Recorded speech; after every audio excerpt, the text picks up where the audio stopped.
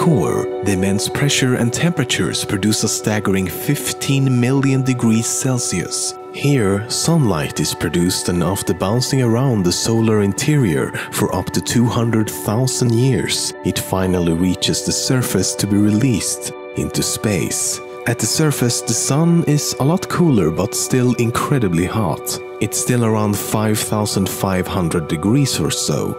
Yet here, on the surface of the sun, we have found water. Not in a liquid state, but in the form of steam. More specifically, this water has been found in these darker, slightly cooler regions called sunspots. You know, when a spacecraft takes off and a huge cloud of smoke is formed, usually covering the entire launch site, this is actually not smoke. Well, some of it is, but most of it is actually steam from the pool of water underneath the spacecraft. The water is used to absorb some of the acoustic shock waves created during takeoff that could potentially bounce off the platform and basically shake the spacecraft apart. There's a mysterious phenomenon called long delayed echoes. If you're in a large empty room, it's likely that sound will reflect off the surroundings and produce an echo, echo.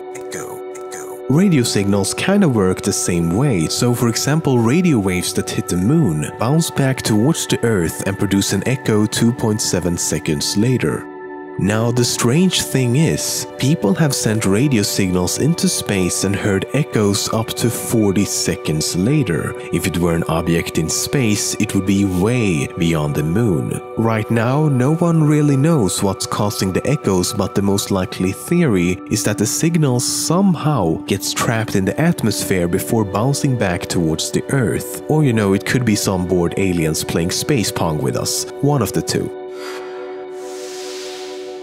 On the morning of September 1st, 1859, astronomer Richard Carrington was observing the sun and noticed a cluster of enormous sunspots. After a while, Carrington spotted a sudden explosion of light erupting out of the sunspots. What he saw was something that is now referred to as a coronal mass ejection, or CME for short.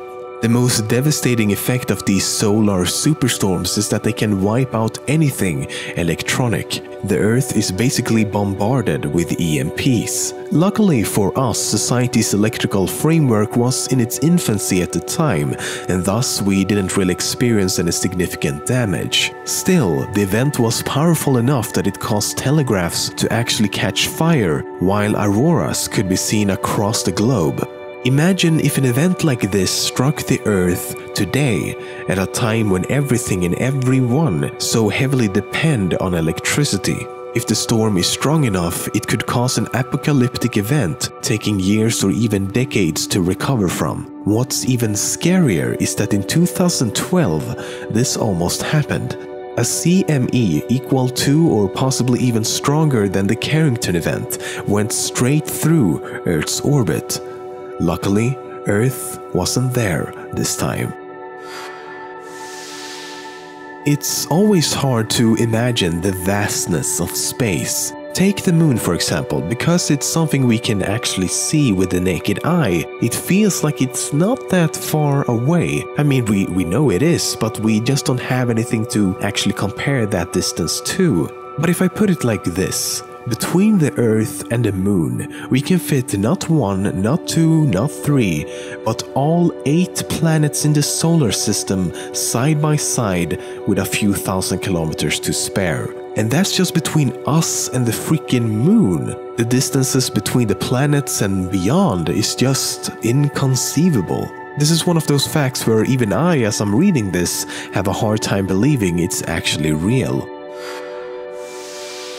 Another thing that speak for the vastness, or maybe I should say the emptiness of space, is the fact that the sun contains 99.85% of the total matter in our solar system. That leaves us with the insignificantly small amount of 0.135% for all the planets including Earth. And that's just in our solar system. On a galactic scale, let's just say there would be a lot of zeros.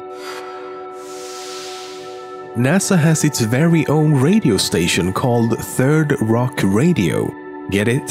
Third Rock? Anyway, on this channel they play rock and alternative music along with space news and NASA mission updates throughout.